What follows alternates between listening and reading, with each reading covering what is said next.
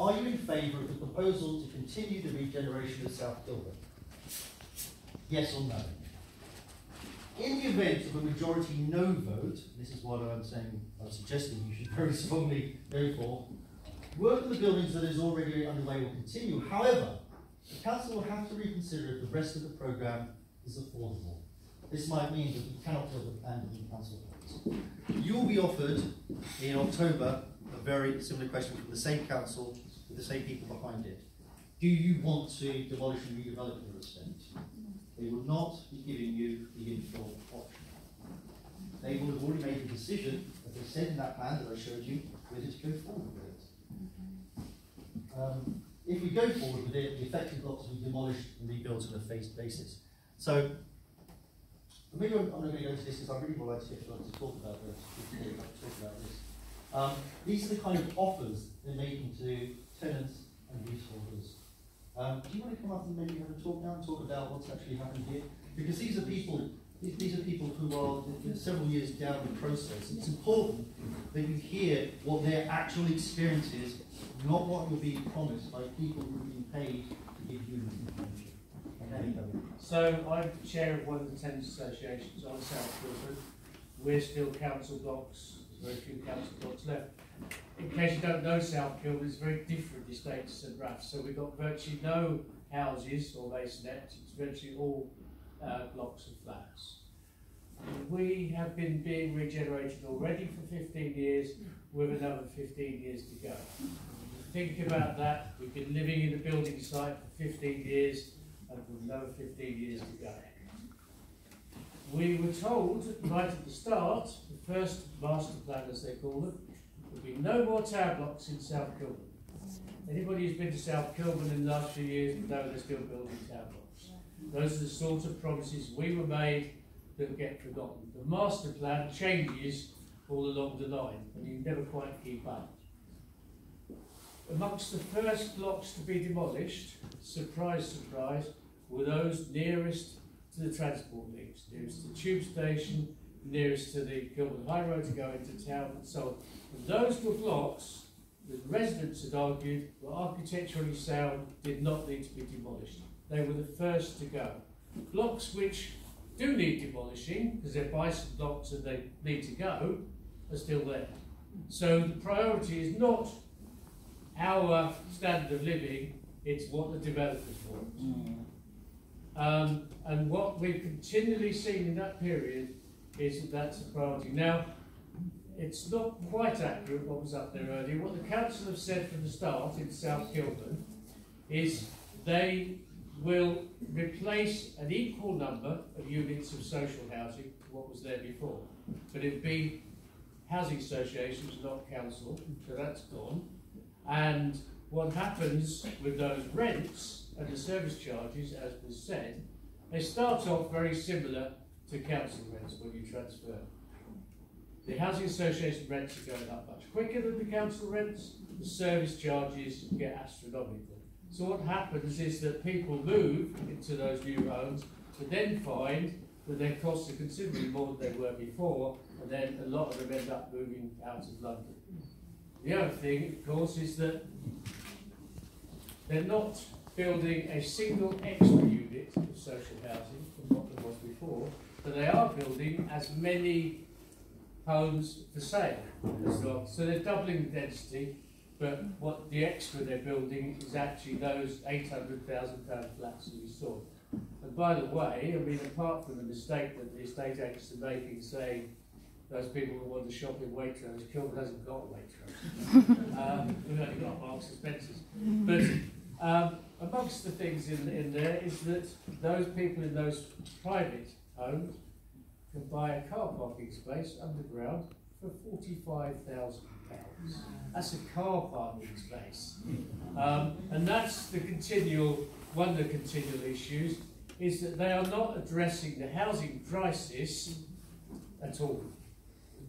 According to the council's own figures, 40% of the households in Brent cannot even afford social rents. And yet what's being built is what you saw. It costs £800,000, a million pounds and so on.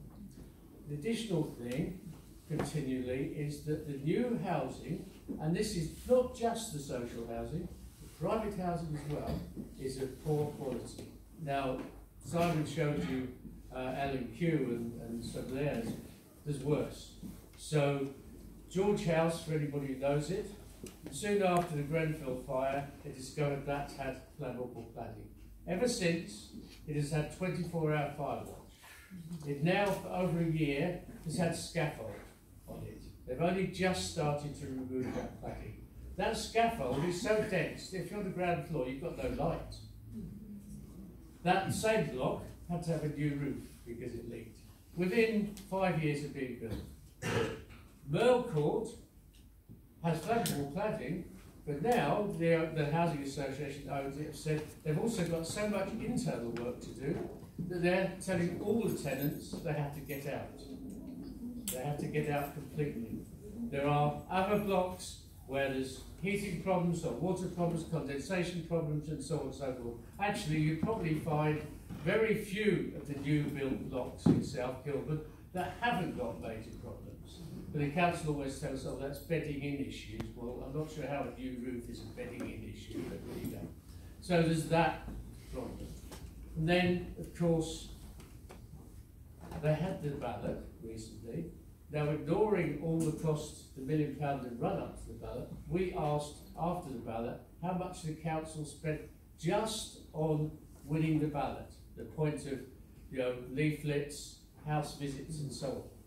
And what they did to win that ballot was quite amazing. They had a whole load of council staff going around visiting residents, persuading them that uh, what they wanted is a new home. Well, who doesn't say no to, to a new home?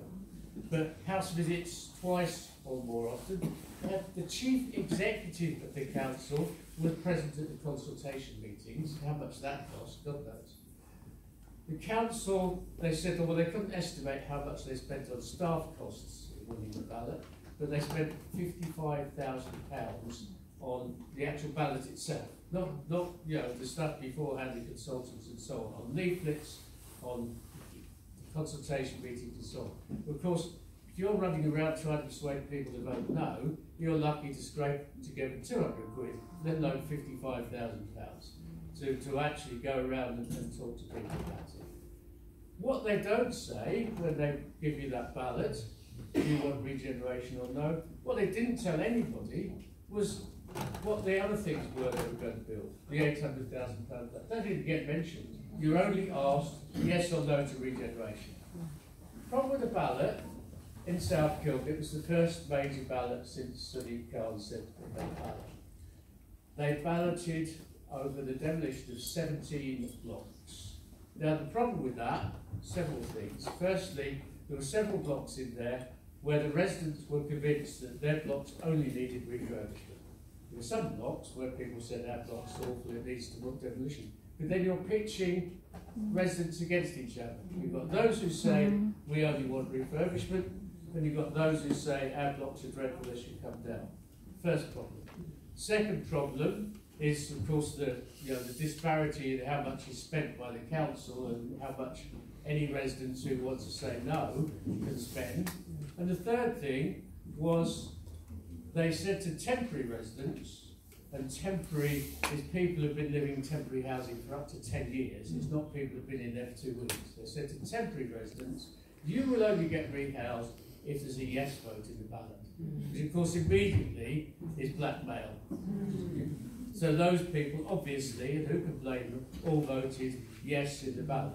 So that's the problems with the ballot. And then, of course, down the line, people find actually the service charges are going up, their rent's going up, and they've got problems with their hot water, their heating, and everything else.